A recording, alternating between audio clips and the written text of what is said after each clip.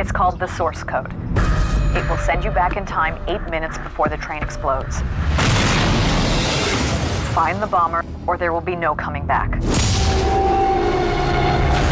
Once you enter the source code, I think we should get off this train. You're kind of freaking me out. completing the mission Everything's gonna be okay. is the only way out. He's in trouble. Source Code, rated PG 13, in theaters April 1st.